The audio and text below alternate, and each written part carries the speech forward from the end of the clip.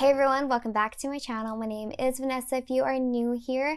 Now in this week's video, we're going to be discussing whether or not the early church believed in baptism. So on this channel, I have a series called Did the Early Church? And we go through a timeline starting with the 4th century all the way to the 1st century to see if the earliest Christians believed in the teachings that Catholics believe today. We start in the 4th century because some people claim that the Catholic Church was started in the 4th century which is not true. It started in 33 AD. But just to fulfill that want, we are starting in the 4th century, making our way down to the 1st century so that we can address every aspect of the early church and see what they thought. So if you'd like to see if the early church believed in baptism, then just keep on watching. The first Christian that we're going to be reading from the 4th century is from Aphrahat the Persian sage. It says, But in the second birth, that through baptism they receive the Holy Spirit from a particle of the Godhead and is not again subject to death. The second Christian that we're going to be reading from in the fourth century is Cyril of Jerusalem. He said, When going down, therefore, into the water, think not of the bare element, but look for salvation by the power of the Holy Ghost, for without both you cannot possibly be made perfect. It is not I that say this, but the Lord Jesus Christ, who has the power in this matter. For he says, Unless a man be born anew, and he adds the words, of water and of the Spirit, cannot enter the kingdom of God. Neither does he that is baptized with water, but not found worthy of the Spirit, receive the grace and perfection. Nor if a man be virtuous in his deeds, but receive not the seal by water, shall he enter into the kingdom of heaven. So, from this, we can see that the fourth century Christians believed in the importance of baptism. So, let us move on to the third century Christians. The first third century writing that we're going to be reading from is from Hippolytus of Rome.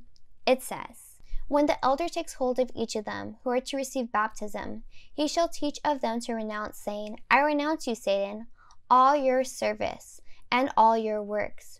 And after he has said this, he shall appoint each with the oil of exorcism, saying, Let every evil spirit depart from you.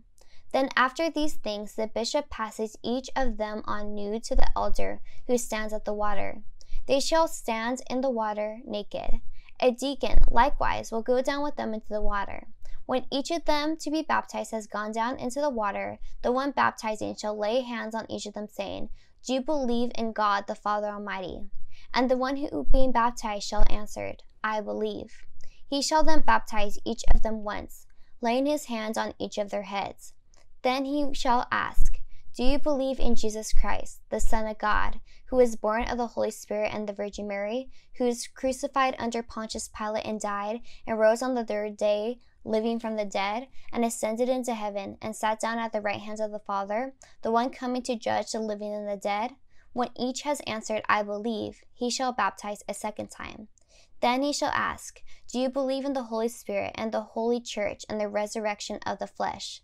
Then each being baptized shall answer, I believe, and thus let him baptize the third time. So, in this quote, we see how baptism was done in the early church, which is reflective of how baptism is done today, but nonetheless, it shows the importance of baptism. The next third century Christian that we're going to be reading from is Tertullian. He said, Happy is our sacrament of water in that, by washing away the sins of our early blindness, we are set free and admitted into eternal life.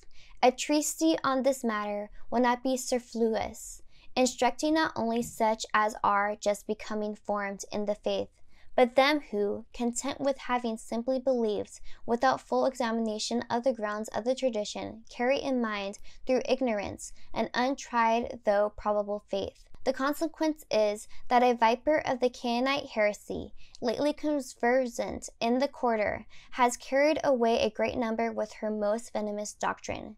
Make it her first aim to destroy baptism, which is quite in accordance with nature.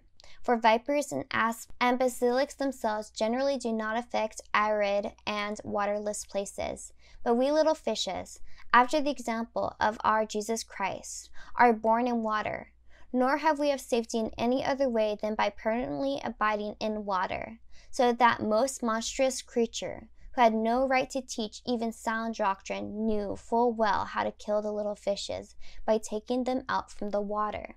So, from this, we can see the importance of baptism and how horrible it is for people to teach that we are not to be baptized.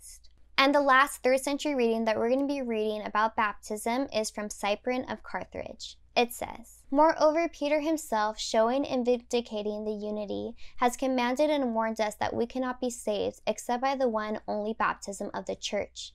In the ark, says he, of Noah, few, that is, eight souls were saved by water, as also baptism shall in a like manner save you.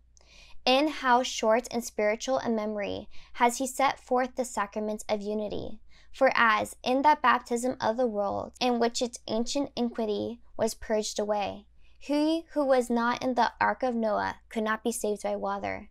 So neither can he appear to be saved by baptism, who has not been baptized in the church, which is established in unity of the Lord according to the sacrament of one ark. So, from this, we can see that this is an importance of baptism, and the importance of baptism is to do it correctly and do it in unity with the church. It also goes back to when Peter talks about how baptism now saves us. So, from this, we can see that the third century Christians did believe in the importance of baptism.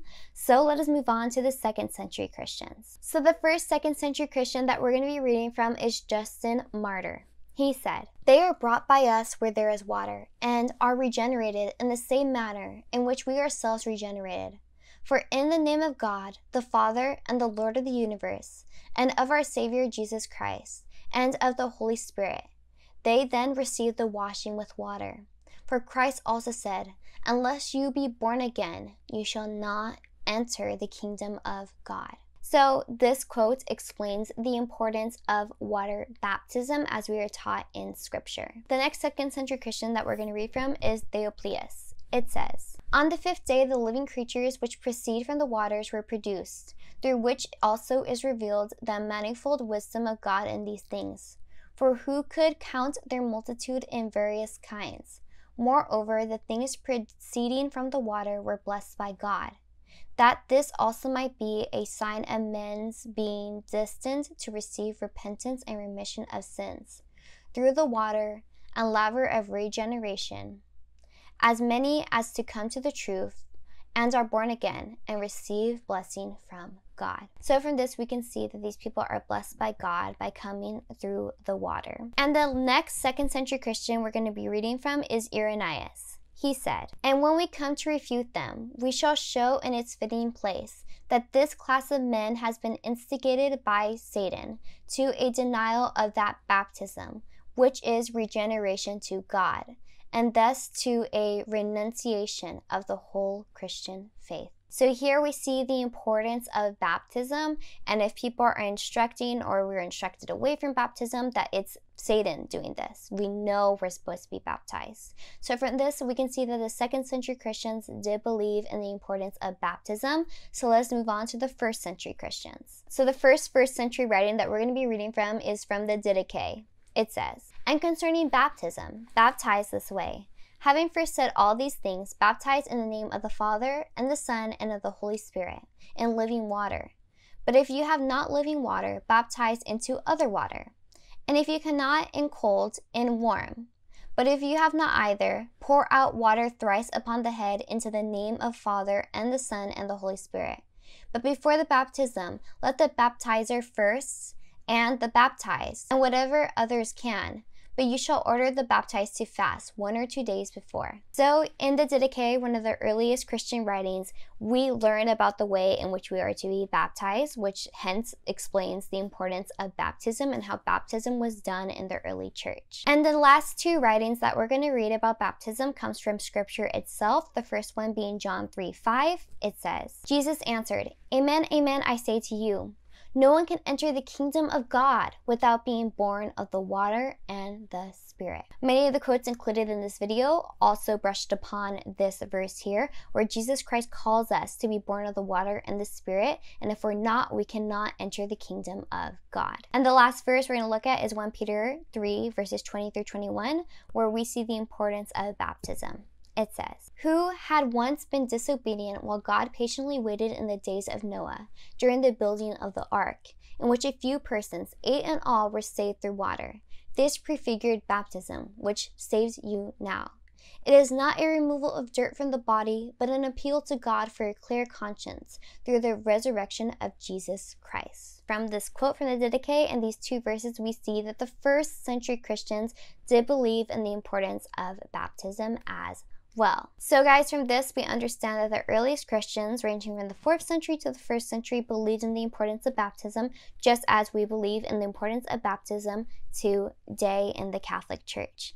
If you like this video, guys, please give it a like. And if you like me and you want to see more of me, please hit that subscribe button and also turn on that bell notification so you're notified when I post. What other videos you want to see me talking about the early church and a Catholic teaching, let me know, comment it down below. If you didn't agree with the earliest Christians said, let me know why, comment it down below. I'd love to hear from you guys. Without further ado, I'm going to end this video so that you guys can get on your way. So I love you guys all and I look forward to seeing you guys guys in my next one. Bye-bye. Bye.